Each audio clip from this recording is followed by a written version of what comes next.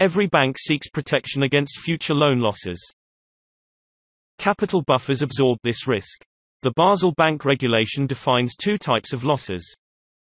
Expected losses EL and unexpected losses UL. We can estimate the unexpected losses by multiplying the following elements for each loan or loan segment. 1. The exposure at default or EAD. 2. The probability of default or PD. And last, the loss given default or LGD. The product tells us the total of the expected losses. Banks keep loan loss reserve to protect themselves against these anticipated losses. Banks maintain a one-year horizon for this buffer. We understand that these future losses are estimates. The real losses can be much higher, or lower. Loan loss reserves equal to the expected losses would fall short in half of the real-life cases. Banks also need to protect themselves against unexpected losses UL. Loan loss provisions are a liability. Protection against unexpected losses comes from the equity. The question is how to calculate this extra equity capital needed. To calculate this equity buffer we need three elements. First the bank needs to determine up to what confidence level it seeks protection.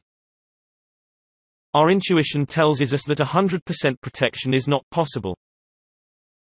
Still we face the choice of a protection level in line with the bank's risk appetite. A good way of thinking of this is through a Monte Carlo simulation. Say, our bank could live next year's life not one, but a thousand times. In real life this is not possible, but in a simulation, we can repeat the scenario many times. During the thousand virtual lives the bank will suffer small and big losses. Some years the loan loss provisions will suffice, other years they fall short. Our starting point is the expected losses which equal 40 in our model. The uncertainty surrounding the PD and LGD numbers drive the variations in the result. This uncertainty is measured as the standard deviation. To keep things simple, we focus on the probability of default and ignore the LGD. Now we can model each of the probabilities of default with a normal distribution. The mean and standard deviation define this distribution. We do this for all PDs. We run the simulation for a thousand trials. Every trial the simulation generates random values for the PDs. Random, but defined by the normal distribution. Thousand trials produce a thousand possible amounts for the expected losses. We can put them in a histogram. It is no surprise that the mean of our results is close to the original 40 of the expected losses. The surface of our graph represents the thousand trials. So, the thousand simulated lives of our bank. We could ask the question how much capital the bank would need to stay safe in 95% of the cases. In other words, what are the expected losses at the 95th percentile? We see this amount equals 49.60. So, with buffers of 49.60 we would survive in 95% of the cases. This amount is covered for 40 units through the loan loss provisions. This implies we need an additional 9.60 to reach the 95% certainty level. This is the answer to our question. The extra risk capital buffer is usually called economic capital and comes from the bank's equity. To sum this up, we have the loan loss reserves to protect the bank against expected losses. We have the economic capital to protect the bank against unexpected losses. We do this up to a degree of 95%. The remaining 5% in the right-hand tail is the uncovered risk. Okay, now we understand the concept and let's see whether we can model this in Excel. Also, we would like to add another dimension, correlations. The way to approach this in Excel is to create a covariance matrix. As we will see, the covariance matrix will produce the standard deviation of the expected losses. Once we know the standard deviation, we can determine how much extra buffer capital we need. A matrix is a number table with rows and columns.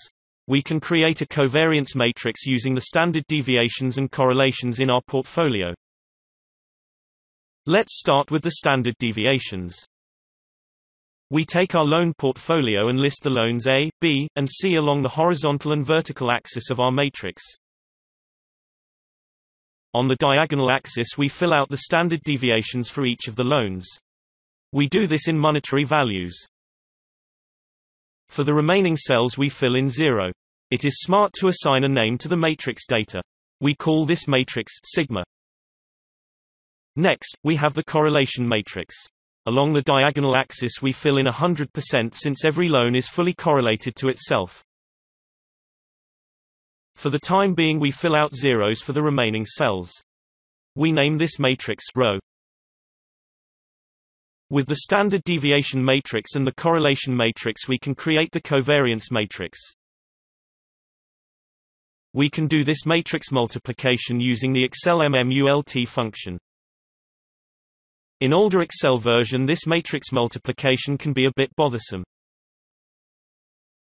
First selecting the output range, entering the formula in the top left cell of the output range, and then pressing Ctrl plus Shift plus Enter to confirm it. A nice feature of the covariance matrix is that the sum of the cells produces the variance. We can do this with the Excel sum function. We remember from school that the variance equals the standard deviation squared. That implies that the square root of the variance produces the portfolio's standard deviation. The Excel function sqrt gives us a hand. The standard deviation equals 5.70, which is close to what we saw earlier in our simulation. Again, we would like to find the cutoff point at the 95th percentile. This point equals the sum of the EL and UL at that confidence level. We keep things simple and assume the losses follow a normal distribution. We know the distribution's mean and the standard deviation. The Excel function NORMINV helps us to find the cutoff point at the 95th percentile. We find a value of 49.38. Again, close to what we found with the simulation. With a total capital buffer of 49.38 we cover 95% of the future losses. We already buffered 40 in the loan loss provisions. This buffer covers the expected losses. Hence, we need an additional economic capital buffer of 9.38 to reach the 95% certainty level. We can make a small table and see what the capital needs are at the various confidence levels.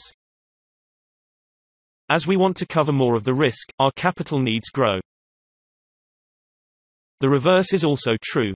Higher capital levels assure more protection against future losses. Hence, the banks itself receives a better credit rating. The model we created provides a couple of interesting insights in the mechanics of loan portfolio management. We will touch upon three themes. First, the portfolio benefit. Second, correlations and in the third place the concept of contribution to variance. We all know that a portfolio of loans presents less risk than one big loan. Diversification is the main pillar of risk management. Our model allows for calculating this portfolio effect. We saw that the standard deviation of our portfolio equals 5.70. In our sigma matrix we find along the diagonal axis the individual standard deviations for each of the loans. If we take the sum of the matrix, we get a risk level of 9.10. The portfolio sigma is just 5.70. We conclude that the portfolio benefit reduced the risk with 37%. For our bank's credit risk management, it is interesting to quantify this benefit. Next topic is correlation. We understand that positive correlations between loan losses reduce the portfolio effect. The correlation matrix rho lists the correlations between the portfolio elements. If we fill out 100% correlation for all the cells the portfolio benefit vanishes. You can test various scenarios. Assume that the correlations between all loans is 90%. Make sure to fill out the corresponding values in both the matrix upper and lower triangle. We notice that there is only a meager 3% risk reduction left. In practice, most loans and market segments are positively correlated. Still, there is some portfolio benefit. The third concept pertains to contribution to variance or risk. Our portfolio has a certain risk level that is expressed in a standard deviation or variance. We saw that they represent the same thing. The standard deviation is the square root of the variance. The covariance matrix of our matrix multiplication exercise represents the total portfolio variance. We took the sum of the matrix to find this variance. If the matrix represents all variance then the individual lines in the matrix represent the part of that loan. Thus, we can make an overview of the contribution to variance.